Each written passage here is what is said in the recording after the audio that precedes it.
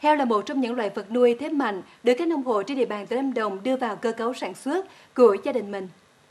Tuy nhiên, hai quý đầu năm 2024, đàn heo trên địa bàn tỉnh Lâm Đồng giảm so với cùng kỳ. Nguyên nhân là do đâu? Chúng ta hãy cùng tìm hiểu ngay sau đây. Thống kê của ngành chức năng, hai quý đầu năm, nông dân Lâm Đồng nuôi gần 430.000 con heo, đạt 92,4% so với kế hoạch và giảm 1,1% so với cùng kỳ. Đàn heo giảm chủ yếu ở các hộ chăn nuôi nhỏ lẻ. Nguyên nhân là do giá thức ăn những tháng đầu năm còn cao. Trong khi đó, giá heo hơi nhìn chung ở mức thấp trong một thời gian dài. Vì vậy, tại nhiều nơi, bà con nông dân vẫn chưa mạnh dạn đầu tư tái đàn, hoạt động chăn nuôi cầm chừng. Các cơ sở chăn nuôi trong khu vực không được phép chăn nuôi ngừng hoạt động, chuyển đổi ngành nghề khác.